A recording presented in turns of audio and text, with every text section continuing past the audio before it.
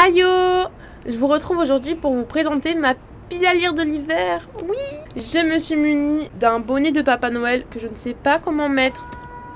Voilà, c'est la décadence. Oh, attendez J'ai un pins de Noël, je vais les chercher. Bon. J'arrive pas à le mettre. Au secours, aidez-moi, je suis nulle. Il fait de la lumière Voilà, on est bien là, on est déjà mieux pour l'ambiance hiver. Alors, je sais que euh, ça fait de la lumière, vous allez l'avoir dans les yeux et tout. Je sais que euh, pour euh, l'hiver, il y a un challenge qui est un peu comme le Pumpkin Autumn Challenge qui existe pendant l'automne. Bah, cette fois-ci, c'est le Code Winter Challenge qui est bah, le challenge de l'hiver froid en français. Donc c'est un challenge pour hiver avec pareil des catégories, des sous-catégories et des livres à placer dans les sous-catégories.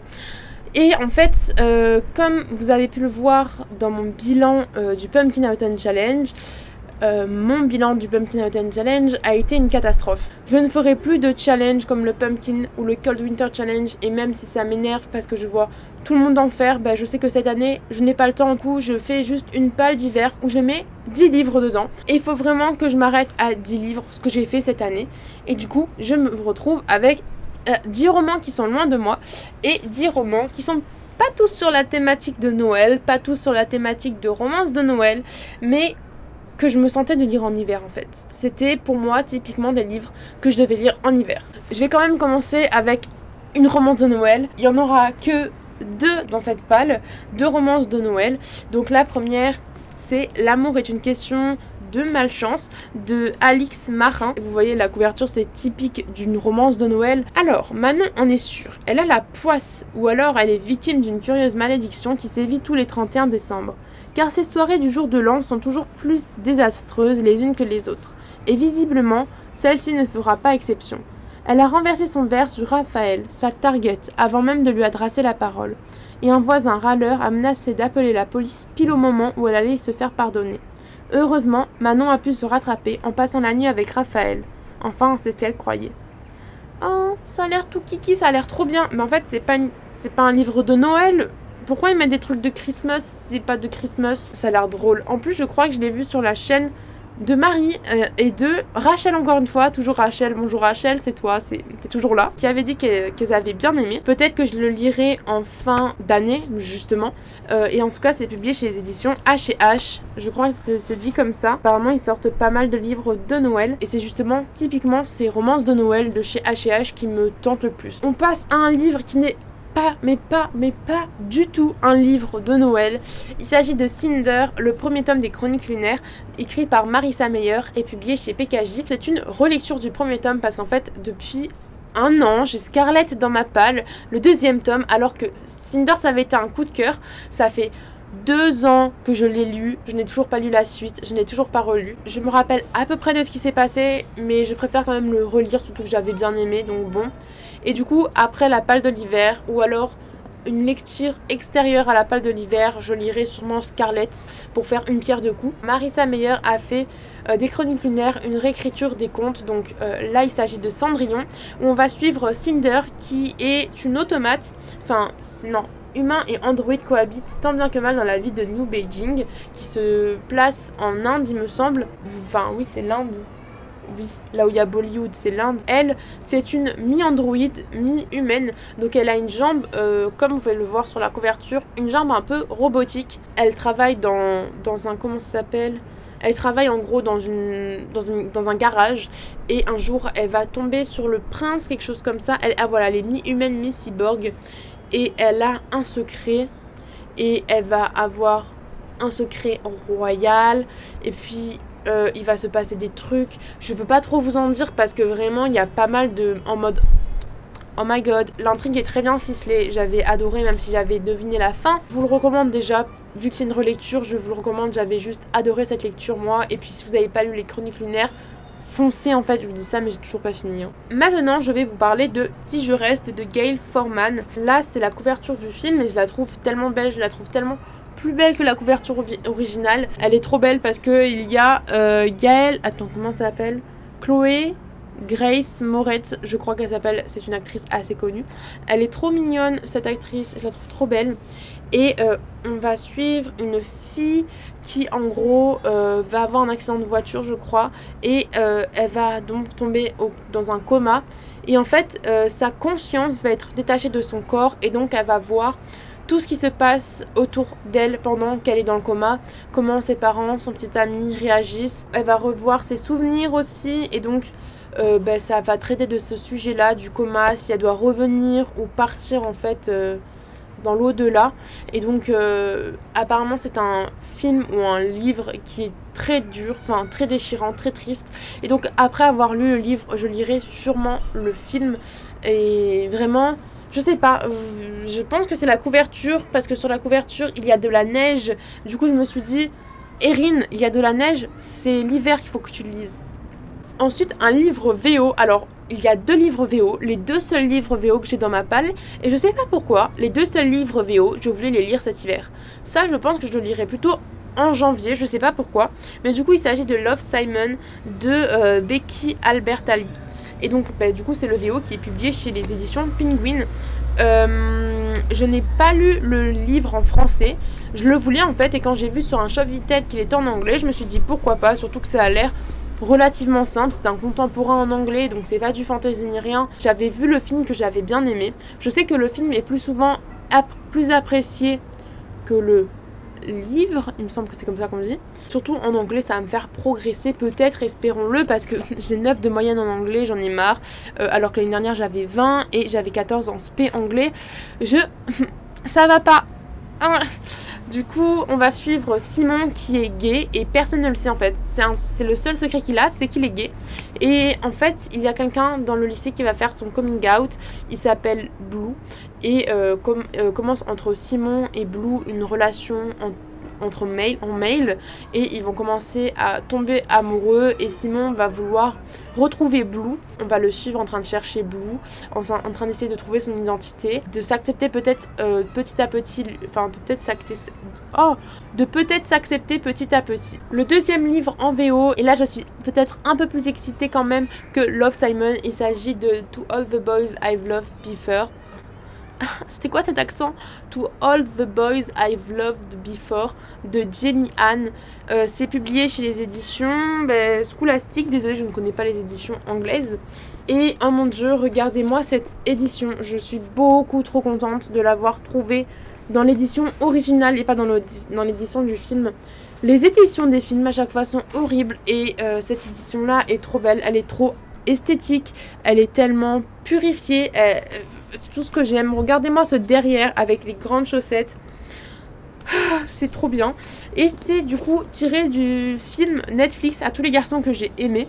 Euh, film Netflix que j'ai pas forcément adoré comme tout le monde. C'était un bon film, un film doudou, un film coucou, un film qui était cool en fait, avec où j'ai passé un bon moment, mais c'est pas clairement la pépite de l'année. Mais le roman m'intéressait beaucoup. Solène du conte Mon Petit Coin de Lecture a fait une chronique où elle disait que c'était un excellent livre. Elle nous a poussé à l'achat de fou, mais moi je l'avais déjà acheté. Et donc ça c'est un livre, à part si je craque avant, que je lirai en février. Je sais pas. Depuis que je l'ai acheté, j'étais en mode Erin, tu vas le lire en février. Je sais pas pourquoi. Ça m'inspire le février. Pourtant, elle est en short, donc ça se passe en été peut-être.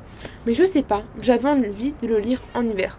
Et donc dans ce livre, on va suivre Lara Jean qui en fait a chaque fois qu'elle avait un énorme coup de cœur, un coup de cœur immense, un, amour inconsidérable, écrivait une lettre au garçon qu'elle a aimé et euh, la gardait dans une boîte qu'elle envoyait jamais. Et un jour, sa petite sœur va trouver la boîte et envoyer toutes les lettres à tous les crushs de Lara Jean, ce qui fait que tout le monde reçoit la lettre, ce qui est pas ouf en soi. L'ambiance a l'air, comme je vous ai dit, tellement bien, tellement esthétique. Les relations, le côté un peu coréen qu'il y a, parce que comme vous pouvez le voir, elle a des, origines des origines coréennes.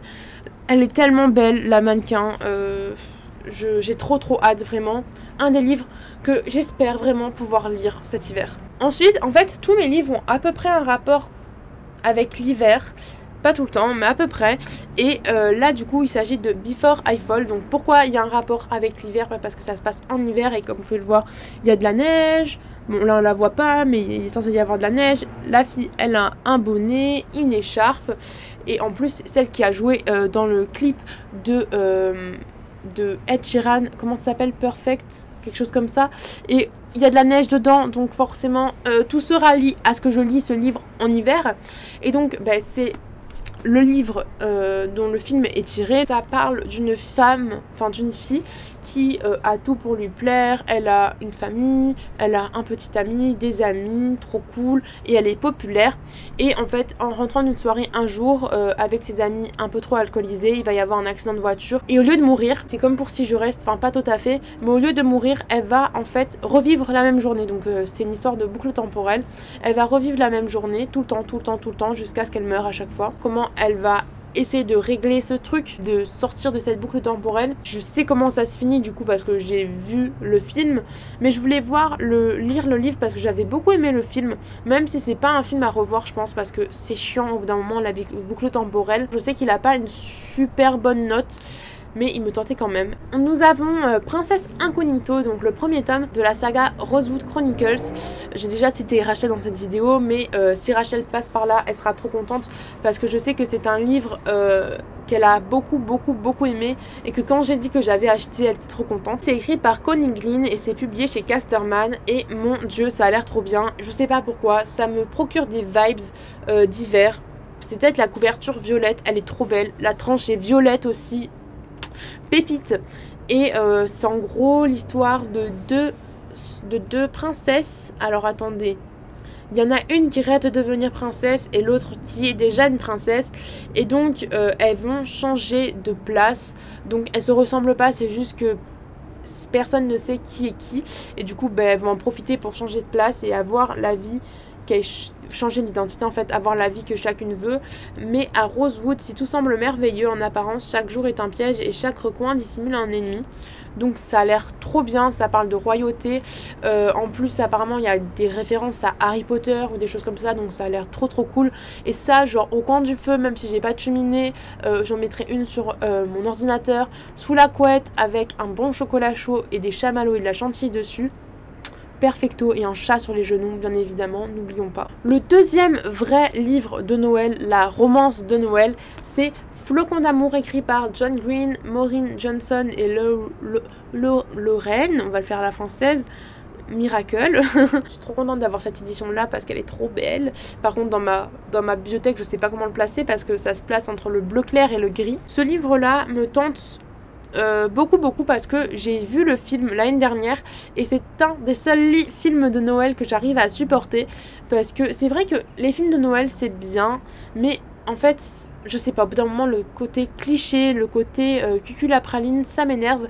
Alors que je sais pas Flocon d'amour j'avais juste adoré ce film de Noël. Je pense que je vais le revoir après avoir lu le livre. J'aimais trop trop trop trop l'ambiance. En plus les messages qui étaient diffusés étaient bien. C'était pas genre juste de l'amour. Il y avait, alors, il y avait un truc, l'histoire d'une fille qui rencontre une rockstar et euh, qui va passer le Noël avec la rockstar. Une qui va tomber amoureuse de son, enfin, avec une histoire euh, Friends to Lovers. Et une autre, c'est une histoire juste d'amitié. C'est de l'amour amitié, vous voyez, c'est de l'amour amical. Et c'était trop beau. Donc j'ai trop hâte de le lire. Il reste deux livres de cette palle. Le deuxième, que je pense, je sais pas si je vais le lire parce que franchement, de tous ceux que je vous ai présentés, c'est peut-être celui qui me tente le moins. Mais euh, c'est La mécanique du cœur de Mathias Malzieu. Et pourquoi je l'ai mis dans euh, cette pile à lire d'hiver même inconsciemment, c'est juste qu'en lisant le résumé, on parle de, l'hiver le plus froid où euh, Jack naît ce jour-ci, enfin cette nuit-ci, et donc son cœur à sa naissance va geler et une sorcière va donc, euh, la sorcière un peu, euh, je crois, mi-sorcière, mi-chaman, vous voyez, du village un peu, donc déjà c'est il y a longtemps, en 1874, va remplacer son cœur par une horloge, un truc d'horloge, et donc il peut pas être en colère, il peut pas être amoureux, mais quand il y a un cirque qui va venir et qu'il va y avoir une chanteuse qui va arriver, il va commencer à avoir des sentiments et on va suivre du coup sa vie. Et donc c'est par Mathias Malzieu, Mathias Malzieu qui est très très très très bien critiqué. Euh, c'est un super bon auteur apparemment. J'ai plusieurs livres de lui dans ma wishlist qui me tentent beaucoup, dont La sirène à Paris, La sirène de Paris, je sais plus. Et donc euh, c'est un livre apparemment très lyrique dans le sens où limite ça se chante, ça c'est très euh, harmonique. parce que je sais que le film par exemple il y avait beaucoup de chansons et puis les livres de Mathias Maldieu sont décrits comme ça, très harmoniques. C'est très je sais pas comment vous expliquer, mais c'est comme si on était dans une comédie euh, musicale, mais en livre. Et donc, je sais pas, j'ai très envie de découvrir ce style de plume. Et je pense qu'en même temps, ça me fait un peu peur de le découvrir parce que ça fait tellement longtemps qu'il faut que je le lise. N'hésitez pas à me dire euh, en commentaire s'il faut que je le lise absolument ou pas. Ensuite, il y a le dernier qui est Orgueil et Préjugés de Jane Austen, publié chez les éditions Grandford Collection. Et donc, euh, je pense que vous avez vu passer sur Instagram quand même, c'était euh, les romans éternels qui avaient fait une grosse, grosse, grosse hype sur Instagram quand ils sont sortis cet été. Euh, ce sont des reliés en fait, euh, les des classiques reliés. Donc j'ai Orgueil et Préjugés, euh, Les Hauts de Hurlevent, Les quatre filles du Docteur March. Et je me suis arrêtée là parce que après ça commençait à coûter un peu cher. Enfin 10 euros, mais j'avais la flemme de mettre 10 euros tous les mois. Et je sais pas, j'avais envie de lire un classique cet hiver. Et j'ai jeté mon dévolu sur lui, le premier que j'ai acheté. Et en plus, il est tellement beau. Oh là là, j'ai trop trop hâte. Je sais pas trop de quoi ça parle. Il n'y a pas de résumé, mais en gros, il y a une histoire d'amour entre, il me semble, une fille ou un garçon euh, bourgeois et une autre qui est un peu moins noble. Je sais pas, mais en gros, c'est une histoire d'amour, c'est une histoire féministe, quelque chose comme ça. Et je sais que beaucoup de gens aiment. J'avoue que j'ai envie de me lancer un peu la tête baissée dedans. Voilà, c'est fini pour cette vidéo. J'espère qu'elle vous aura plu. Euh, j'ai trop trop hâte de me plonger dedans. Et en fait, je suis plus enthousiaste à l'idée d'avoir 10 livres à lire plutôt qu'en avoir 16 ou voire 20 dans ma pile à lire. C'est vraiment cool. J'ai trop trop hâte de les lire. Vraiment, ils me tentent. Peut-être moins, peut-être pas tous autant les uns que les autres.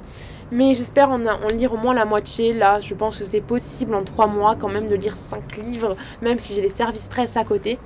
N'hésitez pas, du coup, comme je vous ai dit en début de vidéo, de me partager votre euh, pal d'hiver. Je vous laisse et sur ce, mariez-vous avec votre good boyfriend. Ayez beaucoup, beaucoup de livres ensemble et je vous laisse. Bisous, bye